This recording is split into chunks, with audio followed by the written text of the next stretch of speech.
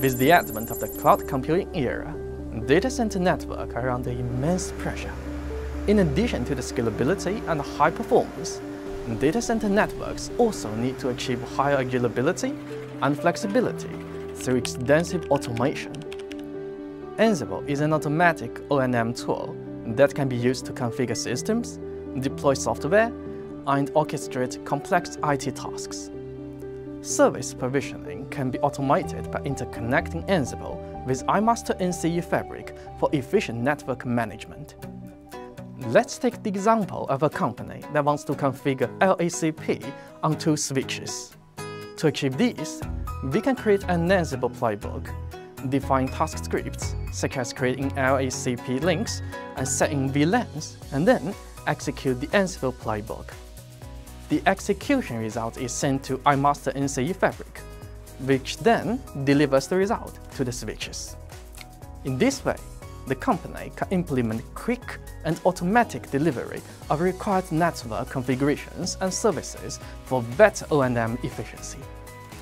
Interconnecting Ansible with iMaster NCE Fabric allows us to complete tasks more efficiently, accelerate deployment and management, and improve O&M efficiency and quality. Now, let me demonstrate how Ansible interconnects with the controller and delivers services. First, we need to create a northbound user for interconnecting with Ansible. Specifically, log into iMaster NCE Fabric, choose User Management from the main menu, and create a user.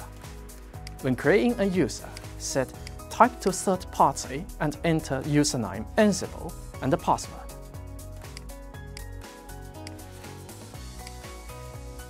On the Select Roles page, select Northbound Interface Operator. Then, you can see that Ansible user is successfully created. Then, go to the Tenant page. No Ansible tenant information is displayed we can use Ansible to create a tenant. Log into Ansible, and go to the Playbook folder, and view the created configuration files for Ansible tasks. These files are called playbooks.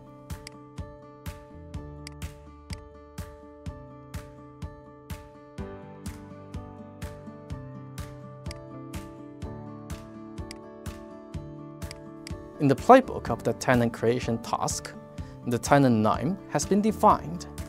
Execute this playbook. If the execution result is OK, the tenant is successfully created. Log into the tenant page of iMaster NCE Fabric. The tenant information created using Ansible is displayed.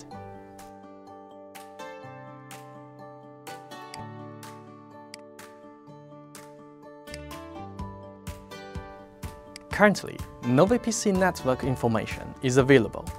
We need to create a VPC and configure Layer 2 network connectivity. Log into Ansible and execute the playbook of the Layer 2 network connectivity task.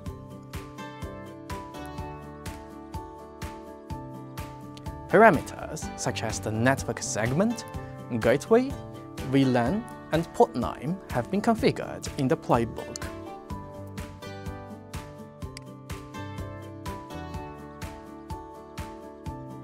If the playbook execution result is OK, the task is successfully executed. Return to the controller GUI. We can see that the VPC has been successfully created.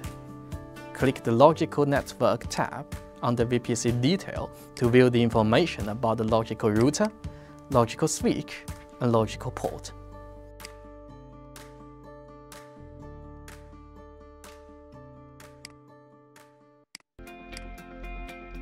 Then, perform a connectivity test using a VM to verify that the Layer 2 network delivered by Ansible is reachable. Then, use Ansible to add a network segment to implement Layer 3 network connectivity. Log into Ansible, execute the playbook of the Layer 3 network connectivity task, and add parameters such as network segment and gateway.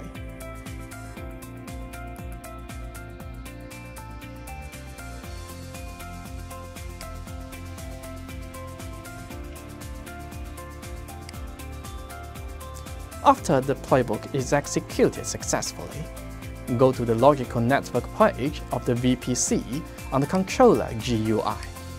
We can see that the network segment is successfully added and the VMM information is successfully delivered.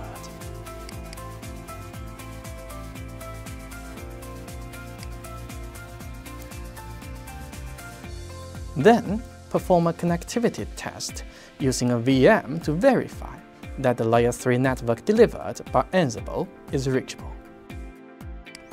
Return to the controller GUI, we can see that the VM online information on the VPC logical network. Next, log into Ansible and execute the playbook for accessing external network services. After the playbook has been executed successfully, return to the controller GUI to verify that the external network and external connection are created successfully. Perform a connectivity test using a VM to verify that the external network is reachable. Log into Ansible to update the logical port. Specifically, execute the playbook of the port update task to change the VLAN ID to 2200. After the playbook has been executed successfully, log into the controller GUI and verify that the port VLAN is updated. Use Ansible to delete the delivered logical port by executing corresponding playbook.